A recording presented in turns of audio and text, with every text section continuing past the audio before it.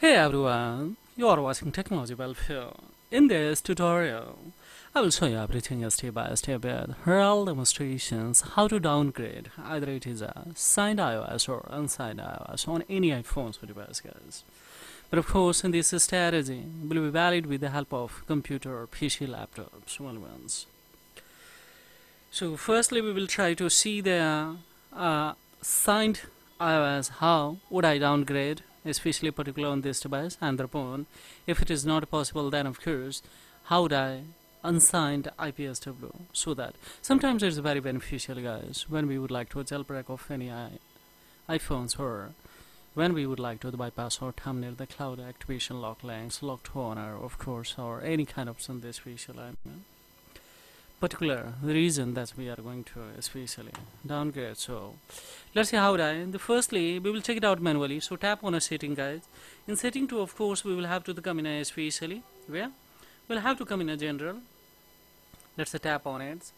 When we come in a general, we can see here in a especially particular software update tap on it and we will see here what's iOS is recommending it's a checking of course we will have to wait guys here and see there is no options. More detail. If I go inside of it it's a 26.1 beta. So how do I go for? Especially we have a especially now clue that we can update it to 26.1 this is a update. Option is recommending but of course 26 to 20 uh, SV slammed 18 iOS 17 iOS that are unsigned IPSW and how do I especially so automatically especially it's not recommending. So in that condition we will go for an administration 3U tool. In 3U tool of course we will have to click on a smart flash. A smart flash to the try to uh, have a special the recommendation here. There is a 26.1 26.0.1 so 26 point uh, lot of the beta version that is. And here is one option is given import so how do I M then signed IPSW see signed IPSW as far 26 yes you can approach that uh, it's a 26.0.1 here is a 26.1 so we can yes come on this and after coming of course we will have an opportunity.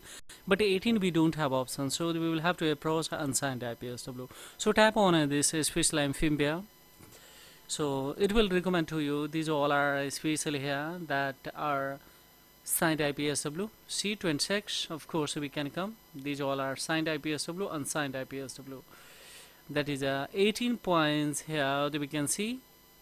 18 points especially 6 so here what we will do just we will firstly try to downloads so when we try to downloads now see here it has started to downloads where it is? Here in the task. So see by that also we can here.